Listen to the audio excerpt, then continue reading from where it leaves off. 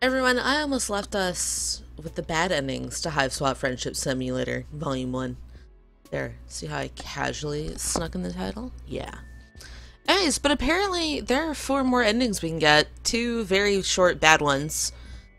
And the good ones. So let's let's make this happen. I'm only going to read the part that I haven't read already. Um, and also you're going to notice that like if I can split this into two episodes, if it's long enough, I'm going to tack it in the day after. Like Diamond's good and bad other bad ending would be after his normal day, and then Ardata's would be after her normal day. So uh stuff will not be put up in the order that I recorded it. Alright.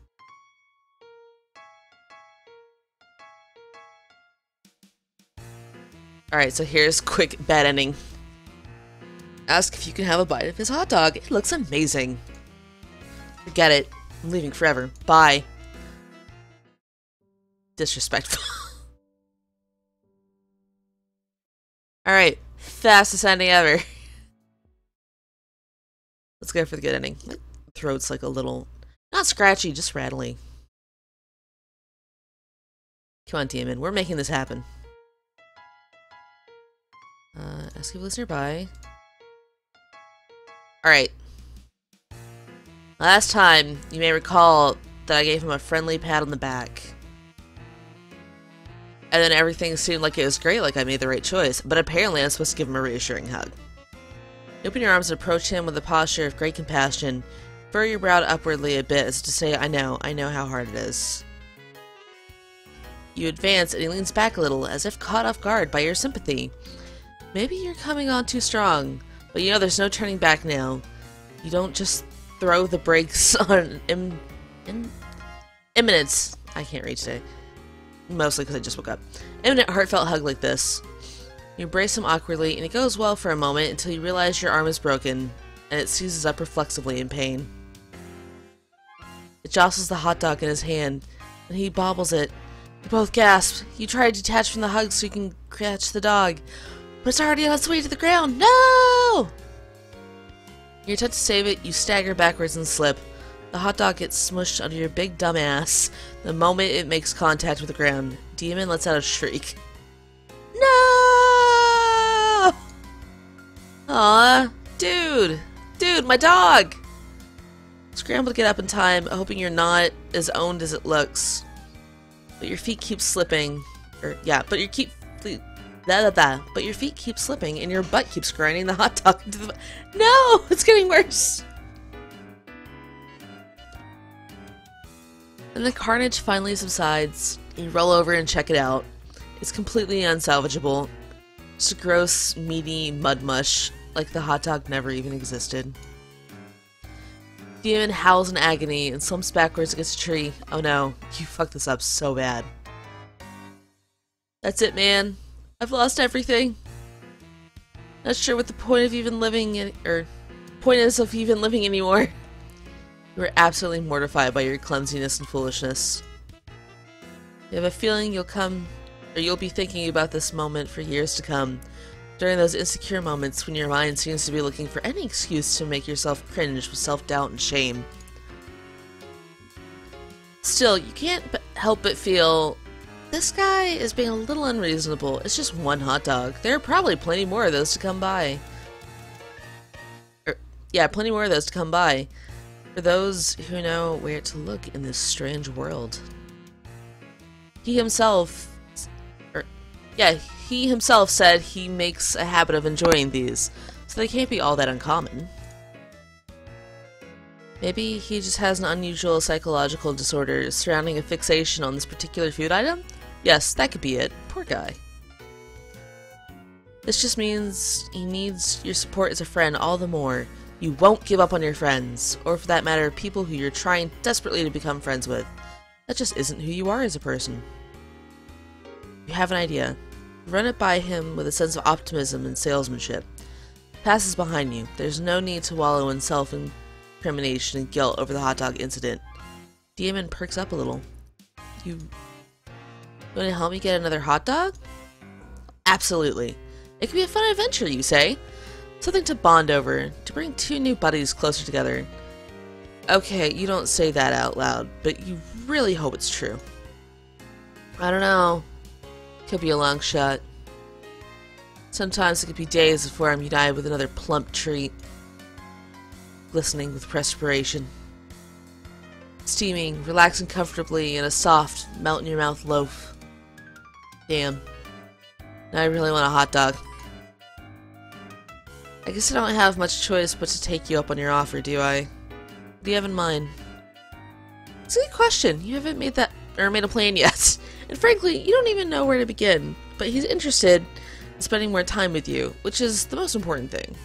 And I'll be honest, that that's that's our goal. Need to be friends. You'll figure something out. You decide a display of confidence is called for, real show of leadership to improve morale. You smile, hold up your head high, tell him to follow you. You know exactly what to do. Well, not really, but you give no indication of that at all. He's definitely intrigued. Got him hooked now, you think. He's probably wondering if you hit pay dirt, find a new friend with the hot dog hookup. Dude, if I found a friend with the hot dog hookup, we'd be down. Like, yo, look at all these uh, sausages you got over there. Now we just need a friend with the bread hookup and we're good to go.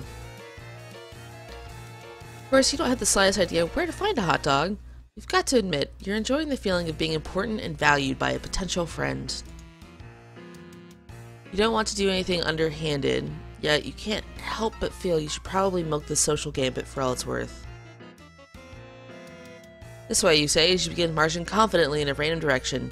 He obediently fo follows and begins rubbing his tummy. You begin to feel nervous almost immediately. You have absolutely no idea how this is going to pay out, or if it stands any chance of resulting in a hot dog at the end of the journey. Oh well, you figure some you'll figure something out along the way. You lead him through streets and winding through and yeah, through streets and winding through yards of strange looking houses, and he follows. He takes care to make sure you both are not seen, which could get you both in trouble apparently. Then improvise the improvised circuitous route appears to provoke his suspicion. Dude, are you sure you know where a dog is? Seems like maybe you're lost. Oh, absolutely. You're absolutely sure you know where to find one, you say. You're just throwing anyone off the trail who might be following you. You nod solemnly, as if that makes perfect sense. Ooh. Look, you can't have people on your hot dog trail. But you can't keep him guessing like this forever. You got to do something. Take some bold action to keep his interest in this wiener quest. You say this way, down here. Well, good for you, virus and threat protection. Yeah, you didn't find anything, because I'm not dumb. Sorry, just arguing with my computer for a moment. You say this way, down here. This is a shortcut to the hot dog supply you're privy to. It's the mother lode. Um, in the sewer? Yes, totally. It's just a short trek through the sewer. Shouldn't be more than another hour, or several, of sewer trudging. That is, if he still has the will to do what it takes to get his hands on more juicy hot dogs. Oh, hell yeah! This poor kid. You know it. After you, man. An hour later, you're so deep in the sewer, you've lost all bearings and sense of direction. You could be anywhere by now. You've taken so many crazy turns. Still, you don't let up for a second that you you're lost. You've made each turn with decisive conviction. He's still following you, but he's having trouble, or now he's having trouble keeping up. He's out of breath and struggling with the foul smell. Can't say you're enjoying that it much either. But you can't let on the fact that you're what you're doing now is anything other than the most casual routine for you. Like you do this every day, just a quick jaunt through the sewer to hit up this vast, mythical trove of meat products. Okay, when you put it that way, maybe this all sounds a bit insane. Especially considering the fact that you crash land on this planet and he knows this is like your day one here. Still, you're in too deep to second guess yourself now. Hey, I gotta pant pant. I gotta stop and rest. Can't lie, I'm starving for a heavenly frankfurter. This might be too much for me. I don't think I'm cut out for this.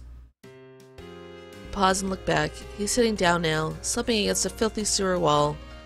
You're intensely relieved to see you may have just won this impromptu game of sewer hot dog chicken. Look guys, if you're ever in a game of sewer hot dog chicken, you have taken some wrong turns. Clearly we have.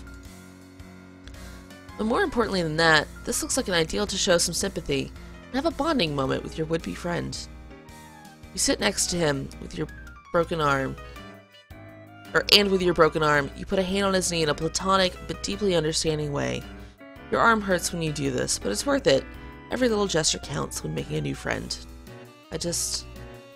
I kinda suck. My lusus is gone, I don't have any skills, and most people think I'm weird for liking hot dogs so much. Probably just gonna get cold. No! Not good at going on adventures or doing anything hard. All I'm good at is finding an easy meal here and there however I can get it. Like talking people out of their fine sausages using tricks or other ploys which end up losing me friends. Aww. It's been unthinkable that anyone would do anything nice for me or would want me to have that sweet, sweet meat I desire. Because it was unthinkable. Until now. Your heart begins to race. Could it be? Is is this shitty improvised sewer escapade actually working? You can't believe it. Nobody's ever done so much or worked so hard to try to get my hands on another magnificent banger.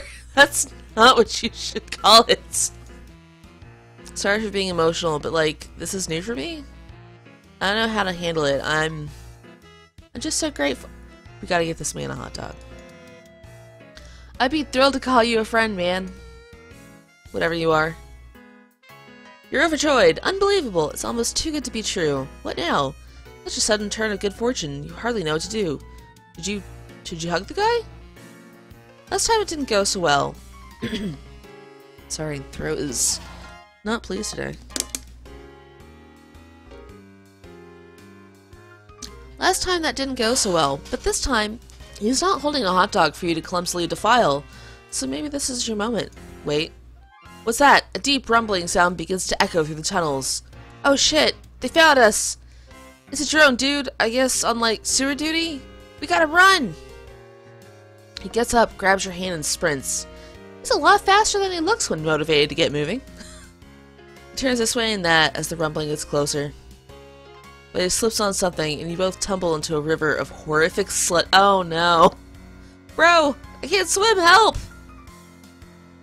Your bad arm finds purchase on the ledge. Now it's very painful you heroically salvage your friend from the muck with the other arm. He coughs and gasps for breath. You find a nearby ladder, shove him up. Yeah, shove him upwards until he starts climbing on his own, and follow him. You burst through a lid on the floor, and you both flop out of the hole, drenched in filth, smelling horrible, and completely exhausted. But at least you're safe, you think. Hey, man. Just want you to know, even though we didn't find the glorious treasure you were leading us to, I'm happy how it all turned out. Maybe I don't eat hot dogs in my life, as much as I thought. Maybe that's not the real treasure after all. No, hot dogs are a real treasure. It's been a journey for me, let me tell you. Learning so much about myself, about life, because of you. Why is my phone... I don't know that phone number. Bad day for you. My cell phone's just over there. I'm like, what do you want? Alright. His bushy hair is slicked back from his eyes due to the sludge, he's giving you a penetrating, soulful gaze of presumably pure friendship. Was it even deeper than that? Wow, this is intense. Uh, something catches your eye, just above him. Something dangling. Lots of dangling things, actually. Come to think of it, it's really cold in here. Freezing, in fact. You finally realize, holy shit, you're in a weird alien meat locker. You're absolutely surrounded by dangling meat products, including many sausages, thousands of them, you begin to sob.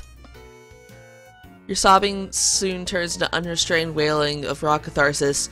He joins you, and the tears flow freely from you both. You embrace each other and let it all out. Suddenly it hits you. Both of you. This is by far the happiest day of your life. Meat heaven!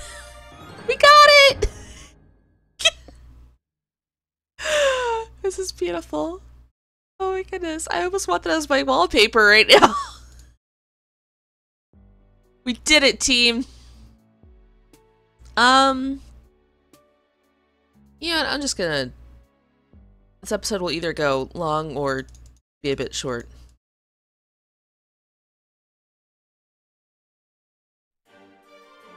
Your Dada, what up? Uh, it sounds fine, I guess. Fuck out my face and never come back. Rejection!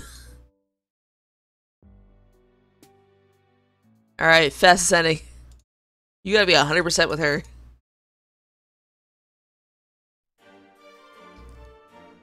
Alright. Now we gotta skip to the next one. Alright, we're gonna get the hell out of here. First you clear your thoughts and try to think innocent things. Fluffy clouds in the sky, ironing some clothes, a winning touchdown pass from the sports. Ardata's long black hair is spilling over her cloak. Her- wait. These are not innocent thoughts. Shut it down. Shut it down. It's no time for thinking. You have to act. You hurl the screwdriver at her and run. She calmly lifts a hand towards one of the kids in the cages. The kid tenses up and lifts a hand in the direction of the screwdriver. Screwdriver blah blah blah freezes midair, right in front of Ardata's head. You run up the stairs. She twitches a finger, and the caged kid does a full body spasm. The screwdriver goes sailing towards you. It stabs you deep in your leg, and you buckle over, tumbling backwards down the stairs. You're a crumbling heap at the bottom of the stairs, bleeding, and you think your arm is broken in two places now. That didn't seem very friendly to me. Luckily for you, I'm determined to make relationships work. Even ones with people who flee simple furniture assembly products. Look, man, if it's IKEA furniture, that's... That's what they were like trying to pull out your own tooth. It's difficult. She stands over you and attempts to pull the screwdriver out of your leg. Your entire body locks up. You can't move. She holds an outstretched hand just above you. You shouldn't try to move yet. You certainly shouldn't try to pull out that screwdriver. You'll get blood everywhere. Oh, we were trying to pull it out. To my three little eyes, under the present conditions, it seems to me that only one of us should attempt walking up these stairs. You feel relieved. Perhaps she has some alien means of levitating you up the stairs? Wait, no. Your body is tensing up again. It's moving without your permission. you get to your feet without taking the screwdriver out. Wow, that hurts. What is she making? Wait, what? She can't be. Uh. We got close to your face, man. You use both of your arms and all of your strength to pick her up entirely. Pain from your arm is excruciating. Arms with broken bones are not meant for heavy lifting. The additional weight on your wounded leg isn't great either. You hold her as a groom would hold a bride. She wraps her arms around your neck to hang on to you in whatever strikes you as overly. Blah, blah, blah. To hang on to you in what strikes you as an overly familiar manner. I'm gonna try to drink again because I, I can hear the rattly. She looks you directly in the eyes and grins. This is better. Now onward and upward, new friends. Your legs begin to operate without your consent. Okay, so I guess like in person, maybe Blues have more control. Or she's better than Vriska. You heard me. I said it. Your legs begin to operate under or without your consent. They wobble and struggle under the weight. The wound throbs. You lumber back up the long flight of stairs, carrying her all the way. Take her back to the kitchen and set her down in a chair seated at the table. You didn't think I'd forget about dinner time, did you? Let's put your unfriendly behavior behind us. It's a good thing for you that I'm benevolent enough to overlook disgusting acts of betrayal. You may have noticed I keep several friends in my hive who I have similarly forgiven. Consider the transgression blood beneath the abattoir? You inhale. Now that she mentions it, yes, you are hungry. Maybe a warm will meal will lift your spirits and get this heretofore turbulent friendship back on track. Maybe you'll even get a chance to pull the screwdriver out of your leg. Pull out a chair and attempt to sit down, but your legs lock up, and then you stand again. Apparently this was not the right thing to do. Oh, but why are you sitting? There's cooking to be done. You stagger mechanically over to the fridge and open it. You pull out a large hock of some sort of alien mystery meat and put it on the counter. With broken arm, you reach in anguish for a dangling meat cleaver. You chop the hawk, wincing with each swing of the cleaver. You place the sliced meat in a frying pan, sear it lightly, and serve it on a plate, very rare, just the way your new friend likes it. You didn't know that was the way she likes it, but you surmise this is what she prefers in a piece of meat. just, I can't read today. Surmise this is what she prefers in a piece of meat, since technically she is the one doing the cooking. You put it on the table in front of her, along with a fork and knife beside it. Your muscles relax as you apparently are allowed to control your own body again. She does nothing except for look at you with a pleased expression. You eye the meat in front of her, then the meat on the counter, and the chair on the other side of the table. What should you do? Prepare a plate for yourself? Is this what she wants you to do? Well, it looks like you're confused. Isn't it obvious what to do next under your own viol er, well, volition? I always want to say violation, and that's not a word. A good friend would know what to do. In fact, I don't think a good friend would take nearly as long to decide what the right thing to do, do next is. It actually seems to me that a very rude friend would hesitate for as long as you were hesitating. Or perhaps someone who is not a friend at all. You begin to sweat again. You clearly don't have much time to make up your mind. If you wait for even a few seconds longer, you will probably be guilty of being a bad friend. Maybe even a dreadful one. Da da da da. Throat, why?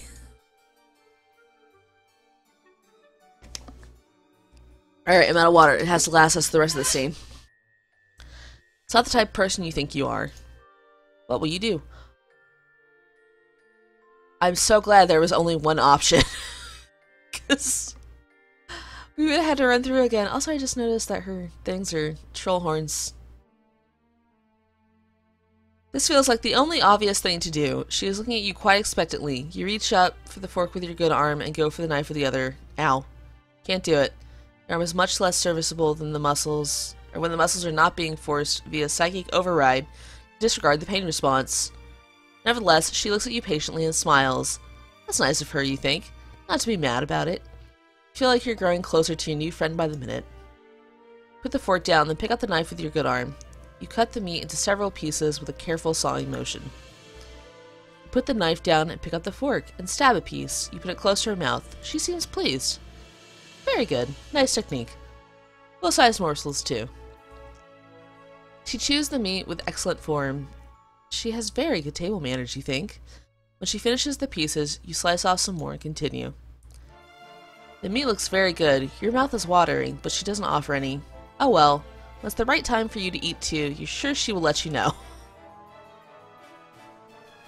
The meal is finished. There is no more meat, except for a few pieces of unchewable gristle.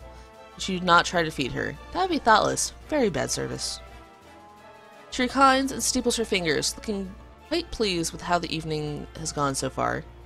you aren't sure why she's laughing. Did you do something funny? Ha ha! Oh my, ha ha! What a fool. Point to yourself, wondering if she's referring to you. You don't know what you've done that was foolish.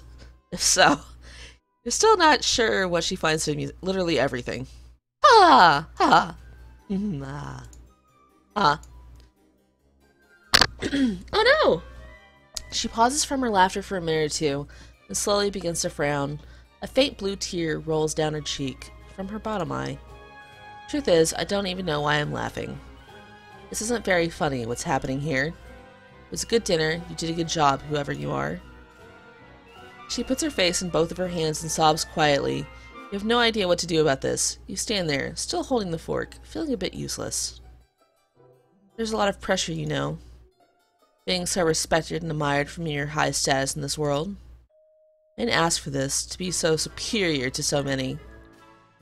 Much is expected of you, much is presumed about what your personality will be before you even develop one. You work hard and build a brand based on what you think people assume you should be like. Sometimes I wonder, am I even that good at being sinister? Could I be more sinister if I tried harder? Maybe this is not my true calling after all. You begin to offer words of sympathy. This all seems heartbreaking to you. Your poor new friend this all seems heartbreaking to you. Your poor new friend. Your jaw muscularly contracts and your mouth shuts involuntarily. Guess it's not your turn to speak yet. Okay, that works for you. You like to be a good listener to your friends. What would happen if I changed my brand? If I stopped being so sinister online? My friends and followers will deride and reject me. My superiors will eat me alive.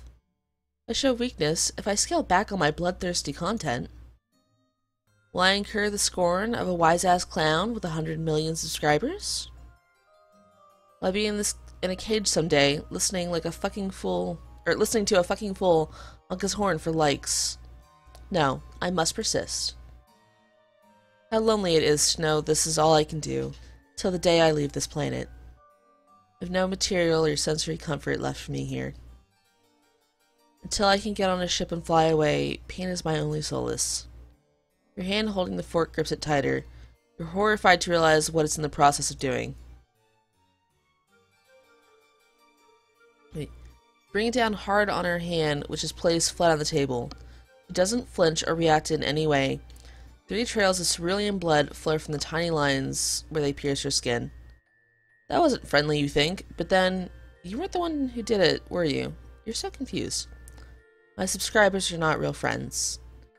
They adore me only for my sinister content, the show I provide, my wicked, infectious laughter.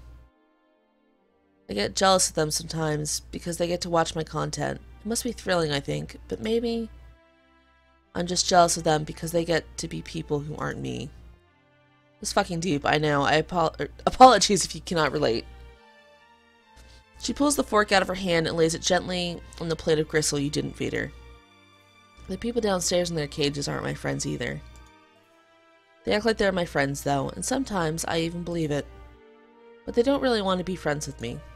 Nobody does. The only person who has ever really wanted to be my friend, has even tried to be, is you? Clear your throat and point to yourself innocently. That's it. I've decided. You have passed the test. You will become my friend, officially. As such, I think a reward is in order. You're overjoyed! Your heart starts racing. You can't believe it. A new, real friend! We don't have much time to enjoy this achievement. Your body is doing something again. You bend down in a strained motion and pick up the plate and fork. You position the plate over your wide open mouth and scrape in the remaining gristle and begin chewing. It's virtually inedible. Your mouth humors the act of chewing for two seconds, and you swallow all of it whole in one painful go. Oh no! Tastes like friendship.